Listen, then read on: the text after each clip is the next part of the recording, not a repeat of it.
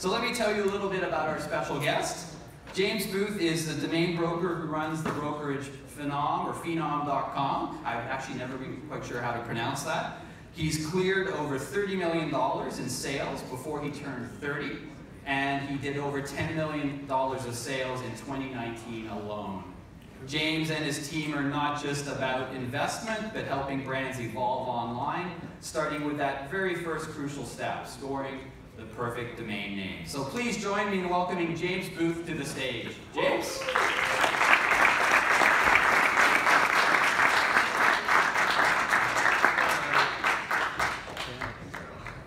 Welcome, James. Thank you.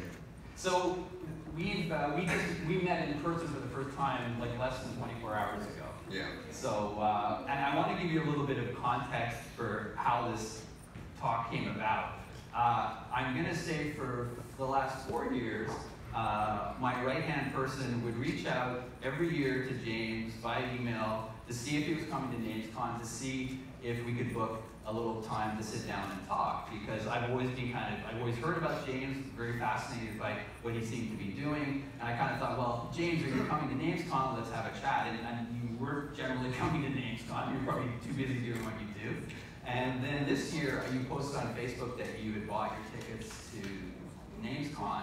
And so I thought, well, why don't we step this up a bit? Forget about you and I just sitting down. Well, let's you and I sit down, but let's have some folks join us because I think a lot of the questions I have for you, uh, people have for you. So we're really happy to have you here. So thank you again for being here today. Thank you. So I kind of, I'm going to take us through a couple of sort of sections. I, I want to find out a little bit about sort of James the person.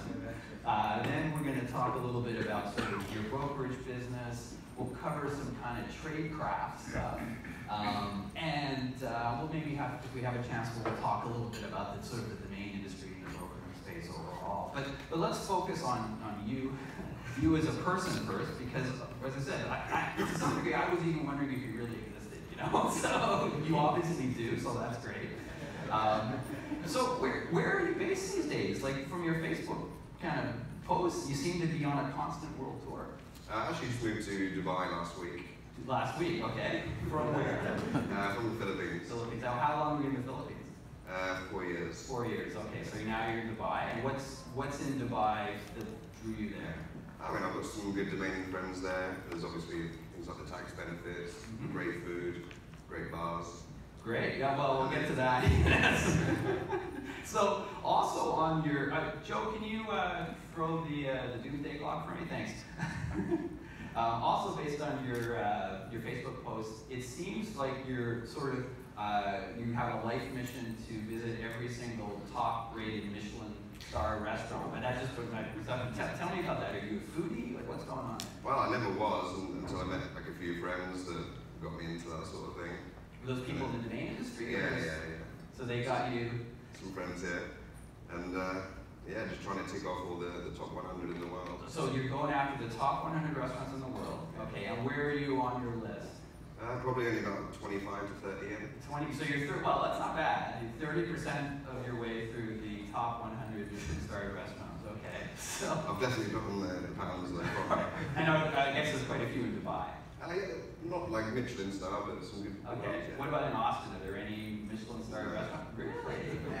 Wow, I'm surprised. Austin's like an amazing food city. Okay. Um, so uh, I want to know a little bit about you know the teenage James Booth. The, the, the, you know, I don't what, so. where were you? Where, where were you living? Uh, and, and what did you think you wanted to be when you grew up? Well, originally I actually wanted to be a helicopter pilot in the Air Force. Wow. Um, but after college I got into like telesales. Okay. So that's like telephone sales. Yeah, yeah, yeah, just telephone sales. Uh, ended up in London as uh, doing like brokerage for like property and land. Um, and then my father was based in Singapore. Uh, he invited me for a holiday to visit him. Um, he ended up saying, look, I'm, I'm going to see my financial advisor today. Would you like to come along? I was like, sure. And uh, during the meeting, they offered me a job in Singapore at this uh, wealth management company. And what age were you at that point? that was in 2011, so about 22. Okay. Wow. And so, and you were then based in Singapore. Uh, Yeah, and I said, look, I'll, I'll take the job. Went Wow. back to London, packed up my stuff, and just started a, a new journey in Singapore. Wow. Awesome. Well, so that's a good segue to how did you get, how did you transition into the domain business? Yeah, so after Singapore, I moved to the Philippines and tried to work for a wealth management company in Manila, which was a, a terrible decision. uh, there's no money there really, and uh, ended up sort of quitting that job and ended up on basically on my house and was pretty much homeless um, in a foreign country, no friends, no family there. Ended up uh, emailing my brother and saying, look, can you lend me 500 bucks just so I can eat? Right. And uh, And this is your brother Andy. yeah, Do you have many brothers in the family? two brothers Two, two, so you and Andy, or you have? and one more. Oh, one more. Yeah. Is Andy the oldest? Sorry? Andy's the oldest? Uh, no, Andy's the middle. Oh, the middle one, okay, all right. So yeah, he, he lent me the 500 bucks, and I'm like, look, you know, I see that you're doing well in domains. Why, why don't you let me work for you? Which he never wanted to do. Right. So those, for those that don't know, right, we'll get to that. For those that don't know, Andy Booth, uh, who's here with us, but I'm not going to identify him unless he wants to be identified. Uh, so he's a very well-known and well-respected domain investor, and has been doing it for has been doing it for over a decade, as far as I know, Yeah. long longer than you have. Yeah. So Andy, but Andy didn't want you to help him. Well, no, I don't think you wanted family involved at the start, Okay. which is fair enough. But uh, yeah, then he, he did let me start doing some emails for him, and this was like the, the start of the Chinese boom for like the three-letter dot-coms. And you know, from being pretty much homeless in my first week, I think I got a, a, a deal, which was like a two thousand bucks commission or something from him. And you know, that's when the, the dollar bills were ringing in my eyes. Right. And that first you were trying to sell that domain to into the Chinese market, or No, no, so I was, I was doing like acquisitions for him, so finding three letters for him to buy and flip. so that's where you started. So you were you were in a sense his buyer broker. Yeah, exactly. Yeah. Okay. And he taught me all the tricks, and then I went off on my own. Oh, you probably taught him a few tricks too. so these days, what percentage of the domains that you're uh, buying are for your own portfolio versus clients of some kind? Um, I'd say the majority are for me and Andy these days, and anything that doesn't sort of fit our criteria, I'll, I'll go and find a buyer for. So, whether, whether it's too expensive or it doesn't sort of fit what we look for. so are you are, are you saying you might identify a name you think can be acquired? It's not a name that you or um, Andy might want, but then you think, oh, I think I might know somebody who might buy it. Exactly, yeah. And is that buyer that you're thinking of, is that another domain investor or are you thinking? Yeah, I mean, we, have a few sort of uh, domain investor buyers that are always looking for similar names to us. So, you know, if it's something a little bit outside of our budget and fits their budget, and you know, find a way that, to make it work. And what, what are, what are they looking for? Like, what are you known for in terms of acquisitions? Uh, these days, like uh, three-letter.coms always, uh, good quality one-word.coms. Um, some people are now looking for good quality like .ios, .cos. So, I don't know, broad those one, the one word dot io? Oh, one dot always com? one words, yeah. Okay. So I, I'm, I'm curious, so now, now you're based in Dubai, but when you were in the Philippines, what, what, what's the typical day like for you? Do you work nine to five? Like what's?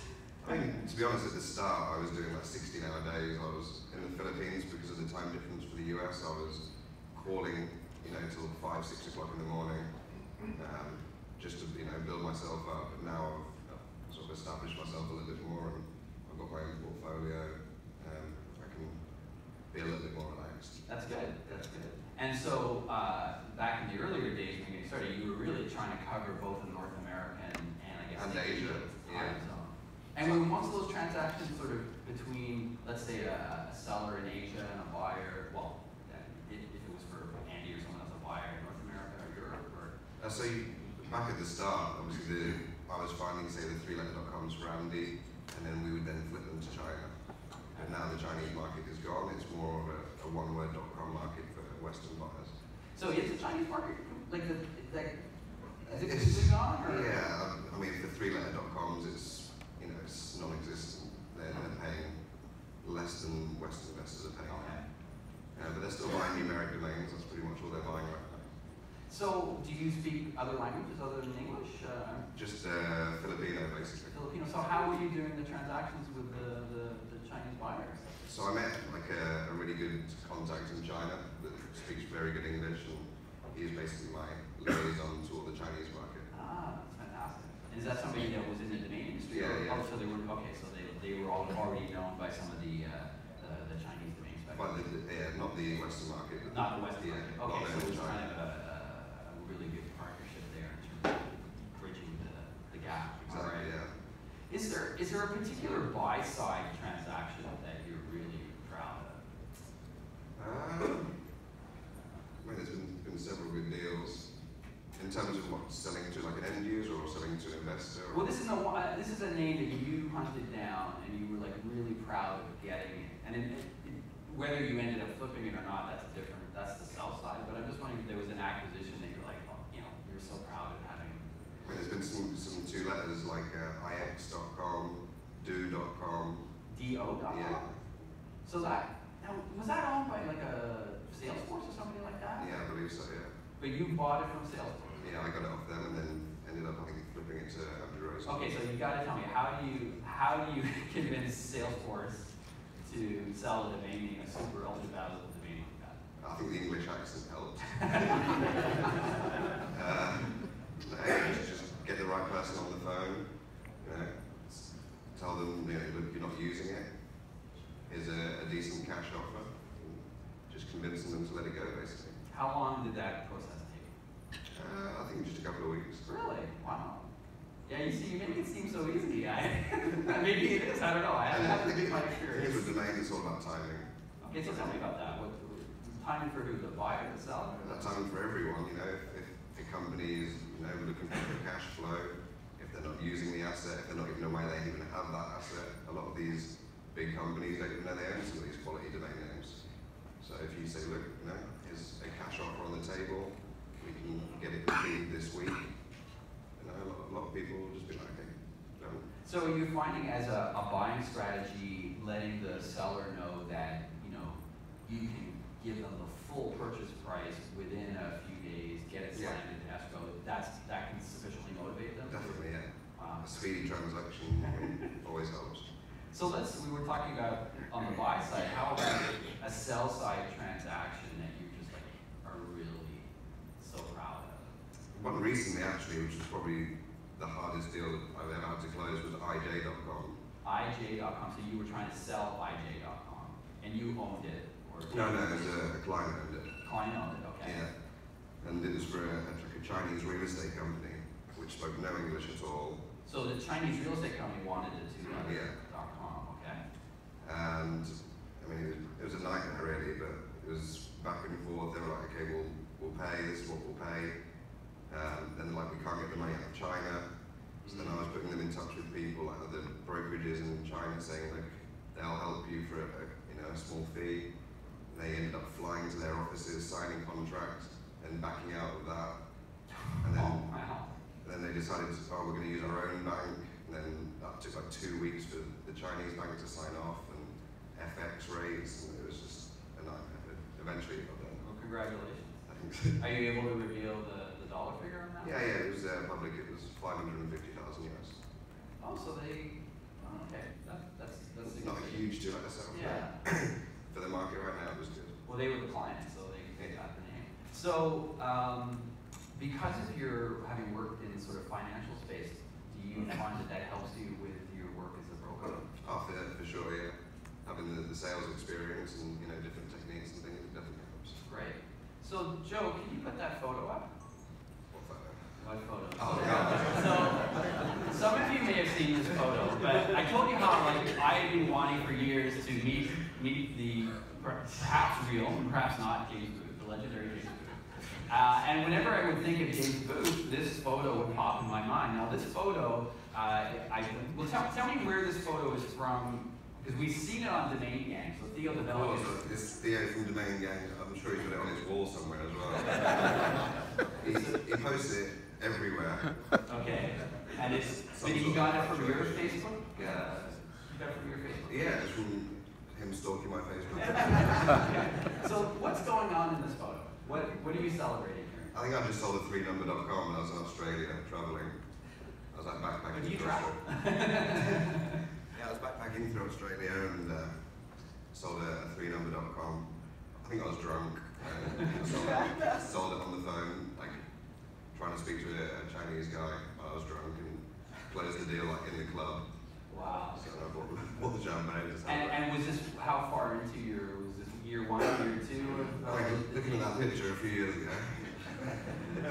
Well, I love that photo. Whenever, whenever I think of you, I just, it just, it's so celebratory. I think it captures, captures your, your spirit of adventurous and celebration. Because one thing I, I will say is, uh, I, I, I, feel this way as a broker, is we sometimes don't celebrate our victories. You know, that making that sale, making that acquisition. We sometimes get so caught up moving on to the next project, we don't celebrate. So one thing I actually, I would say, I I admire about you is my sense is that you, you celebrate your wins.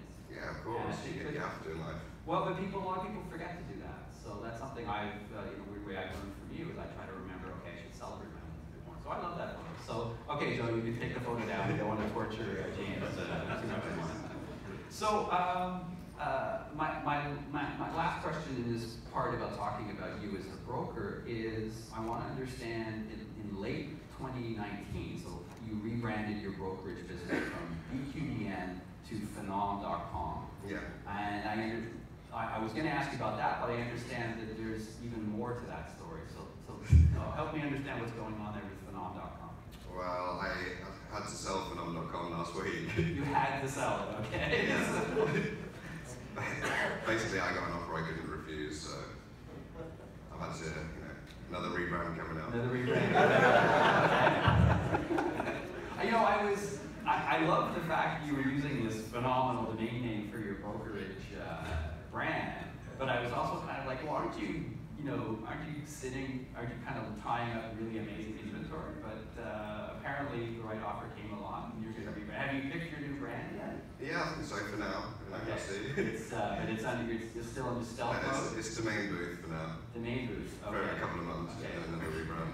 So, well, you know, one of the challenging things with, with, with trying to reach James is it does seem like your email address changes every six months or so. So it's hard to keep track of you. But, you know, you're moving around, but that's okay. All right. Um, what do you like most about the work that you're doing these days? What is there not to like about this industry, really? I don't know. Well, tell me. Is there something you don't like about the industry? No, no. I mean, working from you know in a wealth management job from nine to five, being told what you can do and things like that, to having this freedom to work from a laptop anywhere with internet in the world, travel the world, you know, it's a dream job. Yeah, I agree. I mean, it was, uh, I was working uh, at Tucows managing the domain portfolio, fantastic company, but I, but, uh, I got to work with different buyer and seller brokers, and I saw, um, you know, people that seemed to be traveling the world with their laptops doing deals. I was like, wow, you can actually make a living doing that. And so that, that kind of eventually inspired me to, to resign from Tucows and start Name Ninja. So, uh, uh, it, it is, it is quite a remarkable industry that, It is. that we can do that. So um, I want to now pivot and talk a little bit about sort of domain broker tradecraft. And uh, obviously, you don't have to reveal any anything you're not comfortable revealing. But one of the things I- I'm always blown away by uh, is you seem to have this uncanny knack of acquiring amazing one-word.com domains, which generally I don't think are officially on the marketplace. It just seems what, what happens, I see, because I'm, I'm also stalking is that it's like, there's James announcing he's just acquired whatever.com, and I'm like, that was for sale? Like, oh my God. So tell me, how do you, how do you pull that off? How do you get those not for sale names? I don't even know. no, um, no, it's just, just persistence, I guess, especially dealing with big companies. And you know, a lot of domains, you know, they've got faulty WHOIS information. So it's all about picking up the phone, I think, to get these really killer names.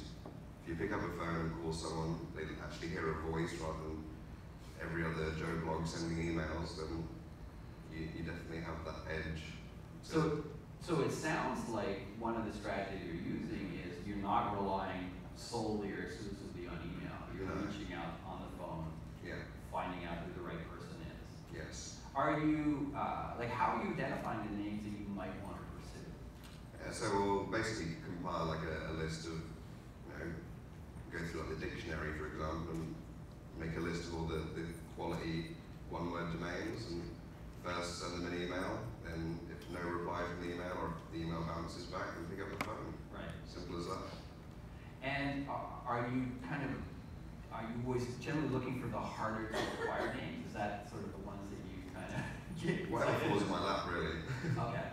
Yeah. But yeah, I mean, obviously the, the harder to get names that are more rewarding for sure once you do get them. Like, you know, like Firefly, Jellyfish, things like that from Microsoft. Extremely hard to get names. Right. And yeah, congratulations on getting those ones. Do you still own those?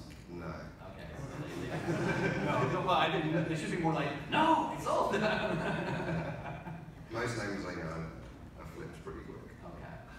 That also seems to be kind of a strategy that you deploy, which is Yeah. you don't tend to sit on inventory that you hope to sell. You, you move it the, really good names we'll, we'll try and sit on and you know, wait for an end user ourselves, but you know, it's all about cash flow. And being like a broker and also an investor, you, you need to keep your cash flowing to acquire these better names, and you know, it's a strategy that works for me. Now, you, you say that with, um, you know, like it's sort of second nature to you, but I think it is second nature because of your finance background. I Yeah. think a lot of domainers, even quote unquote professional domainers, may not really pay attention to their cash flow. So I, I think that you're, you're bringing a financial due diligence to this that uh, I think a lot of people could benefit from. So- And I mean, sometimes you have to cut your losses as well. You can't, not every domain investment has to be a win.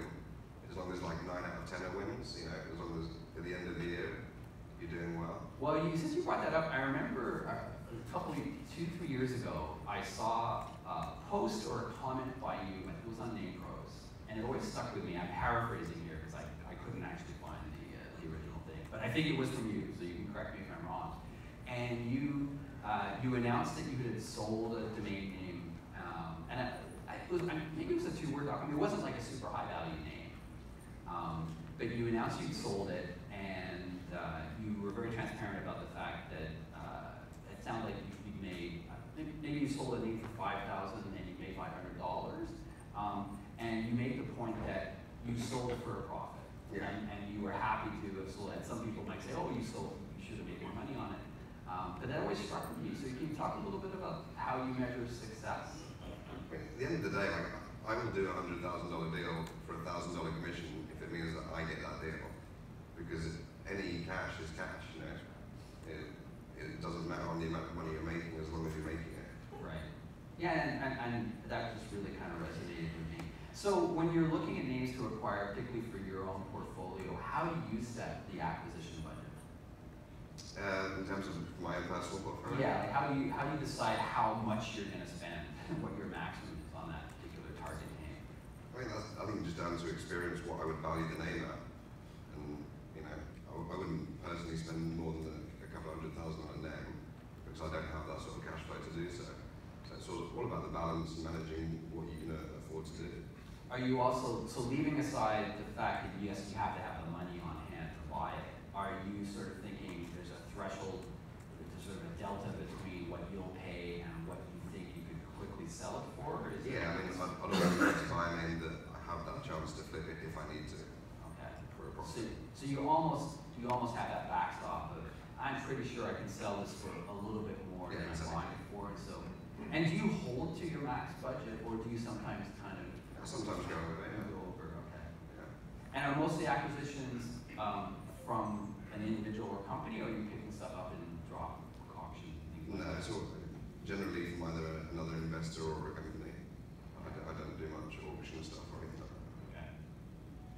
So, uh, obviously, people know, and you don't hide the fact that you have your own portfolio. Um, does the fact, and, and lots of other domain brokers will also buy names for themselves and have their own portfolio.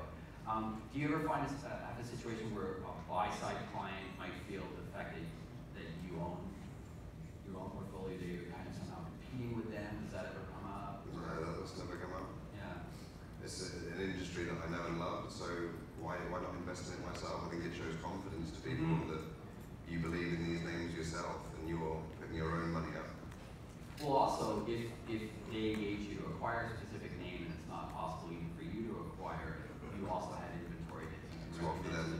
places with bang, exactly. Exactly. So, what do you find is like the hardest part of negotiating either the purchase or sale of a domain name? I ask that because a lot of people think, oh, it's got to be about the money, but I, is, is, it always just about the money? Like, like I said earlier, it's, it's also about the timing, you know. Some people need the money for certain things at certain times. And if someone doesn't need the money, then they're less likely to let go of a name especially if they've had it for 20 years. In Um, a, in a case like that where they're sort of, they don't need the money, they're not in a hurry to sell, do you, do you kind of park it and sort of think, oh, I'll check back in two years or five years, or do you give up? yeah, I mean, I'll, I'll always do follow-ups and things, you know, and, you know, every say two or three months and say, look, here's my offer, would you like to accept it now, or, you know. So you were talking earlier about persistence Yeah. being sort of a secret to success. So Yeah. is that an example of that? Oh, for sure, yeah. And are you, are following up with phone calls and things. Yeah. yeah. um, and do you use any other communication methods to, uh, to uh, reach these people? No, just, uh, just calls and emails. Okay, cool. Not showing up to anyone's houses. No, you're not talking. okay, all right. Leave that to Theo and I. so, uh, a couple times when you've done um, like podcast interviews and things, you talked about the importance of trust, trust in the transactions you do, which I agree. You have to have tra- trust on the side of the buyer, the seller, whichever side you're on. Um, but how do you how do you establish trust when you're calling somebody from the Philippines or from Dubai, Dubai and they're in the States or Canada. So you're this stranger from the other side of the world. Uh, how do you establish trust with people to get deals done? Well, once again, I'm doing the English accent helps there. So tell me about that. I, I, I think it's the, the secret to my success. so what, what, are, what, are, what, are, what are the uh, traits that people are associated associated with the British accent? I don't, I don't know, I think it just it builds trust. I should. I, I, I now regret losing my British accent and having my Canadian accent. Okay, that, that's I, really I good. can't think of anything else why, why it works for me, but So, I mean, I, it occurs to me that you have a really nice telephone voice. I used to work in radio, so I can say that without sounding kind of too weird. I've got a face for you have a face for it. Okay. No, you do have a really great, great voice. So combined with the British accent, so the phone thing. Uh, okay, that's really. Any, uh, what, what else? Okay, so they're kind of like, okay, I like this guy, this British dude sounds sounds real, sounds legit. Uh, but they might not be not be sure, right? So Yeah. so then then what, how do you prove to them that you're the real deal? Well, I can re- refer them to like articles and you know podcasts about me that they can listen to. Know, that, all, all these little things establish trust. Right. Okay. Um, how transparent should a broker be when they're, let's say, when you're going to buy? You know, are, are you letting them know your budget at some point? If you're representing a buyer client, and you're asked, well, who's your mystery buyer, James? How, how transparent are you or should you be? Um, in, in terms of in terms of what, sorry. In terms of revealing information to this, let's say, the domain seller. Okay, I I wouldn't inform the seller this is the client's max budget. Right. But if you get asked, well, who's who's your buyer, Jane? Like, you know, you must be buying for somebody. Who is it? Yeah, I'd, I'd say it's, that's obviously confidential and the, the client is willing to offer you this amount of money. Right. Is this something of interest or not? The, the buyer is irrelevant. Right. I would say attitude is so buyers are relevant. Yeah, I mean something I'll say is sort of like, well, if you're worried that the buyer can pay the amount that we're talking about, yes, they can pay the amount that we're talking about. So don't worry about that. So let's talk about on the selling side. So you, you've got, you've either acquired or it's in your portfolio like a really amazing name, and now you're trying to find a, buyer. Um, what's the biggest obstacle you typically face when you're trying to sell? Um, I mean, the wholesale market can be tough because a lot of people, you know, aren't paying the, the prices these days. Um, in terms of end users, I, don't do any outbound sales generally. Um, so it's all about just waiting for someone to come to you. So it's your, it's the lean back, wait for the, wait for the, the motivated buyer. So, and, and are the buyers sometimes represented by buyer brokers? Uh, yeah, sometimes, yeah. Okay, so you need to work with them and, uh, great. We haven't, I don't think we've yet had the opportunity to It's a good deal then. transactions. I know you did actually, it's funny, um, I, I, not really a client, but somebody approached me and they had a really good, uh, three-letter dot com. And, uh, and I, I, I suggested some brokers they talk to to sell it, and then I think a year later I checked in with them and had actually bought the name from them, which I thought was pretty cool. And they were asking me about you. So I said, well, I don't know if he really exists, but apparently he bought your name. So, okay. Who, uh, uh, who do you think is the biggest misconception about James Booth and what he did? No idea. That you don't exist, maybe? yeah. I mean, I've, I've been going to a few conferences for the last few years. So, so you're, okay. Who inspires you in this industry? Um, I mean, obviously Andrew Rosener is, is the best, I think, at, at what he does on the broker side. Um, I mean, there's a, there's a lot of inspirational people in the industry. But for, me, more of it, like as a broker and a seller, you know, I, So you look at look at those folks that have been doing it Yeah, a bit longer, and uh, I mean, a lot of people have been in the industry for, say, 20 years building up amazing portfolios. It's quite tough when you're relatively new to the industry in a few years to try and build yourself up, build your name, build your brand. Well, you did that relatively quickly, and I think that's what really uh, caught my eye, caught, caught, my, caught my eye and the eye of a lot of people, was sort of like, who is this James Booth guy, and how is he buying and selling these amazing names? So, uh, you know, you move fast,